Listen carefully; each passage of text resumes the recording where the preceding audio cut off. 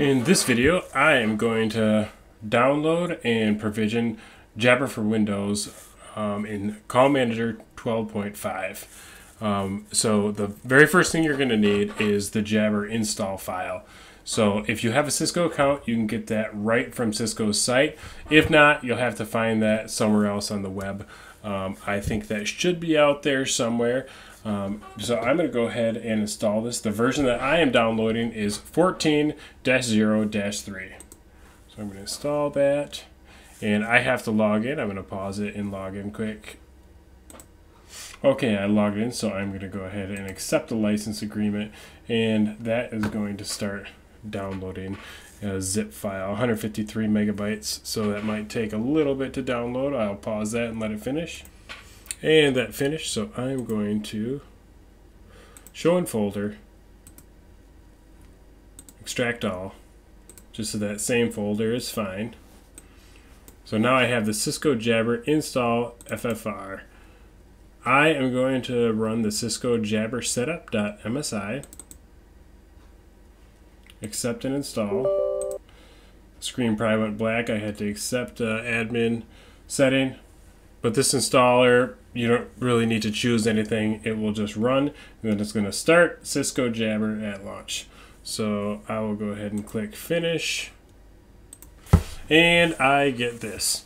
Um, but before we mess around with this at all, there's a couple things that we have to do. Um, the first thing I'm going to do is edit the host file on my desktop computer. Um, if you have DNS um, you can skip this step and just make sure that you have the host name of your call manager actually in um, in your DNS as a record.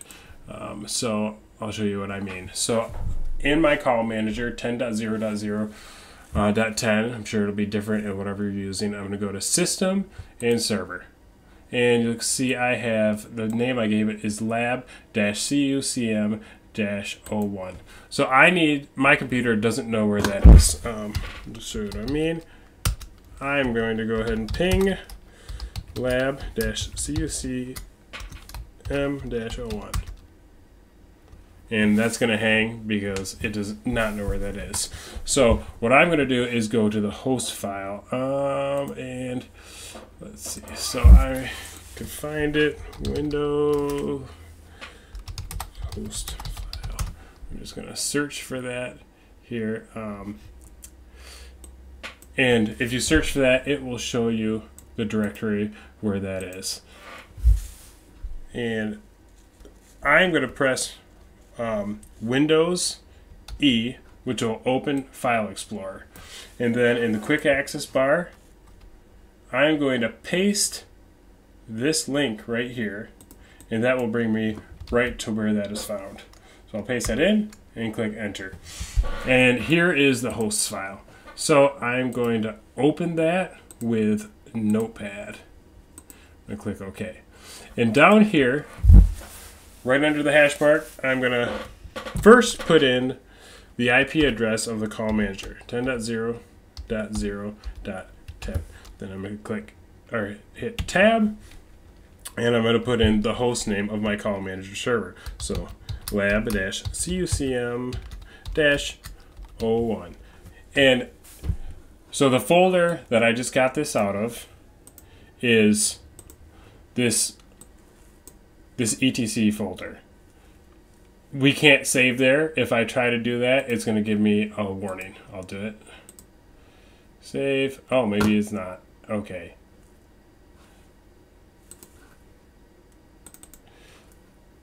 Let me just make sure that those settings are in. Okay, so for me, it did not give me a warning. I think I messed around with the security enough so that it worked. However, you might get an error. Um, so what you can do in that case is go to File, Save As, and then you can actually put this right on your desktop. So keep this open, the same path with the etc folder and then let's go to the desktop. And here is that file. So I'm going to go ahead and get rid of this .txt extension. Click yes. Then I have this same path, open in File Explorer. I'm going to delete this one, and it will allow me to put that file in there. So if you got an error when you tried to save that host file, go ahead and follow that process that I just did. And now we can verify that that is um, that the changes we made were saved. And there it is. And then we can do further verification. So if I go back into command prompt, and once again, ping lab-cucm-01, now we should get a response. And there we are. Okay, so that's good. So now we can communicate with the call manager by host name, which will be important when we try to log into Jabber, and you will you will see why later. Um, so the next thing that we need to do is set up the user in call manager. So I call manager open again. I'm going to user management and user. This is a brand new uh, lab installation, so there are no users in here. And so I'm just going to create one called John Doe. So you need a user ID. So that is J Doe. You also need a password. So remember what this is because you will need it when you try to log in.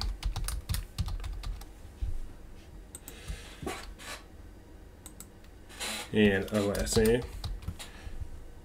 And just a note, if you already have users um, in here, if this is a production environment, you know, you don't have to recreate a user. You can just uh, skip this part of the video, or you can skip creating it.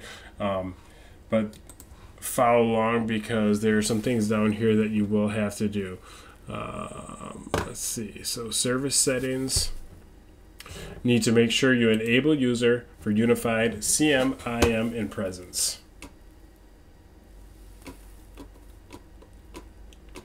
And then make sure that you click Enable Mobility and Save. Scroll back down after you've saved, and now there's this new section here, the permissions information. And I need to add to access control group. And I'm going to use standard CCM end users and scroll down and standard CTN CTI enabled. So I will add those and click save. Okay, so the important things, I'm just going to review them again quick. If you already have the user created, you just need to make sure that you have home cluster clicked, enable user for uh, CM, IM, and presence, that's clicked, allow control of device from CTI, enable mobility, and then these two groups as well, standard CCM, standard CC, CTI enabled. With that taken care of, we can now go on to creating the Jabber device in Call Manager. So if I go to Device, Phone, and I'm going to click Add New. And then I'm going to have to scroll way down to Cisco Unified Services Framework. Way down here. And here it is. Cisco Unified Client Services Framework. That's the type of device that Jabber will use. So I'm going to click Next. And I'm going to call this CSF JDoe. I'm just going to describe it as John Doe Jabber. Device pool, default, um, and you do need to put in a phone or button template, standard client services framework. And um, once again, if you already have, if this is a production environment, you're going to put in your calling search space. I don't have one because this is a brand new installation. Um, so that's all for this part. There are a couple other things we have to save though. And this is a long, there's a lot of settings on this page. So I like to press Control plus F and uh, start typing security profile.